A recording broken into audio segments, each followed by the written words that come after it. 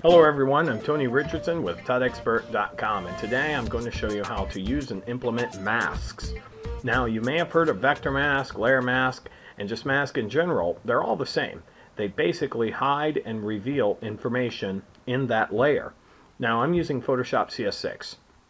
You do not need Photoshop to do this. GIMP, uh, if you go to GIMP.org, you can download, I think the latest version is 2.8 of that, and it's powerful, and it does have layer mask, and you can follow right along.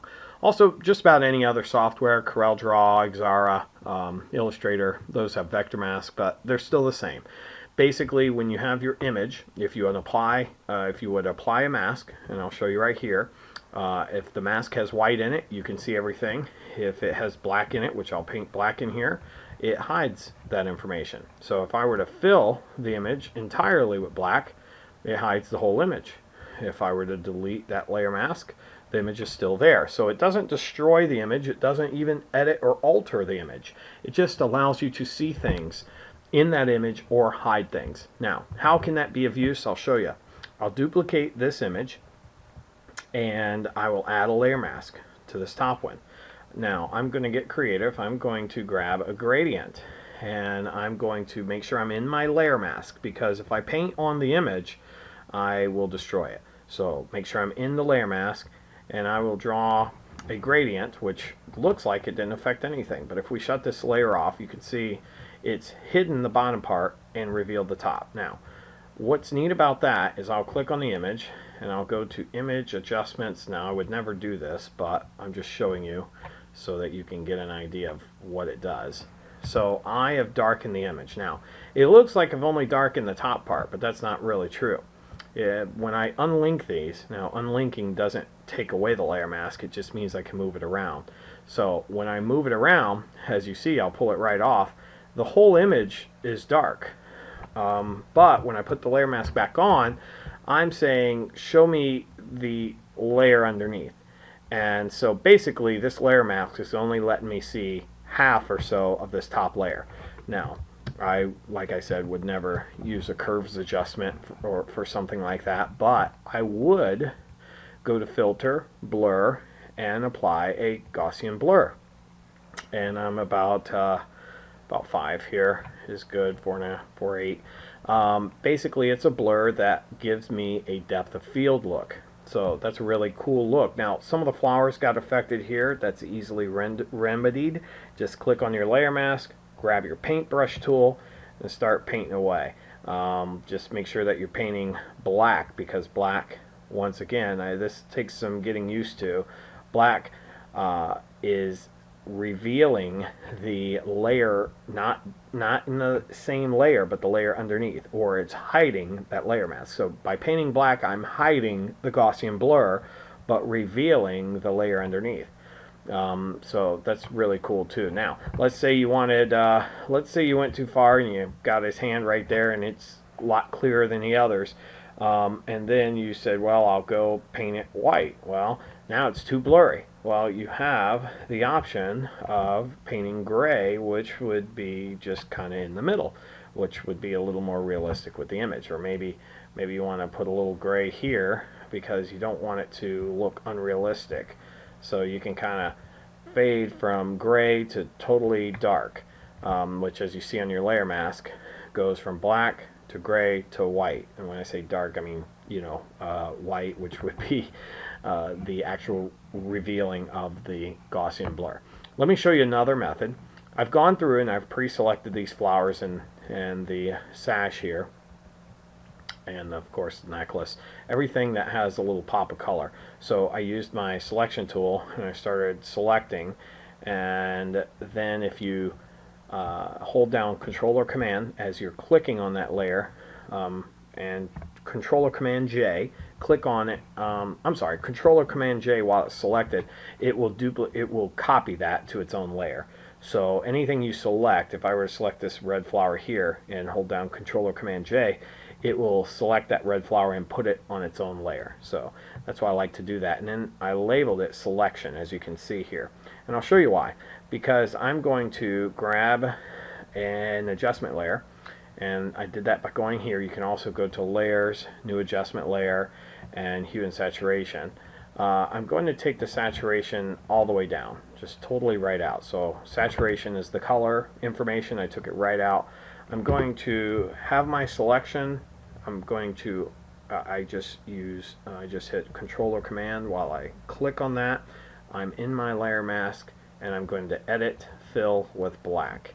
Now by doing that, I have hidden that part of the hue and saturation uh, adjustment layer. So I'm going to double click on this and let's say I wanted to uh, start from scratch. I have a full color image and something maybe a little more realistic would be something like that just so I can add a little pop of color so this might be something more for a client um, although you can take it right out if you want to get really creative uh, now by doing that if you notice the brightness just kind of is taken right out of the image. I mean there's really this uh, beautiful stunning color here and the brightness is gone. But you can add an adjustment layer like uh, curves. Um, you can do the same thing. Click controller command click on the selection. Go to the mask and fill it with black now that part of the image will not be affected so when you double click this curves adjustment right here and you start to brighten it up you're not brightening up those flowers if you see everything gets brightened but that so what's nice is this is where it was. You can just add a little bit of brightness in there. And, and now what you've done is you've desaturated the color, but you've added the brightness back in. So it's a little bit like the original image, which is this, uh, as far as the balance is concerned. However, you've really drawn the eye to these flowers in this stunning silk sash and necklace. So just uh, another artistic way to edit this image. Now I'm going to show you a method of combining filters, um, all kinds of different things. I'll just show you. I've duplicated this image. I have pre-selected the couple, so they are on their own layer. Um, and what I'll do, I'll actually put the uh, background copy on top and I will add a hue and saturation. I'll take the color right out again uh, I'm going to control click or command click on the couple while I'm on that layer. I'm going to do the same thing, edit fill with black so I'm not affecting that part of the image. I'll deselect it so I can make sure I see what I'm working with. Now, one thing I, I think would be, like I said, a little more realistic is maybe just taking the color out so that it kind of, not, not all the way uh, gray, but just bring some more focus to this subject right here. And we'll pull it down maybe 60-ish. Now, what we can do is we can duplicate this couple, bring them to the top, and then I'll show you a really amazing filter. There's something called Topaz Labs. You can go online, look up Topaz Labs, and they have several products, but one of them that I love is Topaz Adjust and as you see it has all kinds of correction presets over here you have an exposure correction uh, a photo pop you can have maybe just a mild color pop now one thing I like you can get dramatic which is this one right here or you can get really what they call psychedelic which is really a lot or you can just do a little portrait um, drama so that's what we'll go with. Just something subtle. So let's say I was doing this for a client. I could do something like that, duplicate the layer, set the blending mode to something like overlay to where I really get a pop of color, but pull down the opacity of in the 60s or mid 50s. And then I get this right here. So let me show you. This is the original image right here. This is maybe something that was taken with a um, a professional camera and you get great color, but maybe you want to draw some attention to the photo by desaturating the background and just getting some wonderful effects on the foreground here. So I'll, I'll show you the original. That's the original.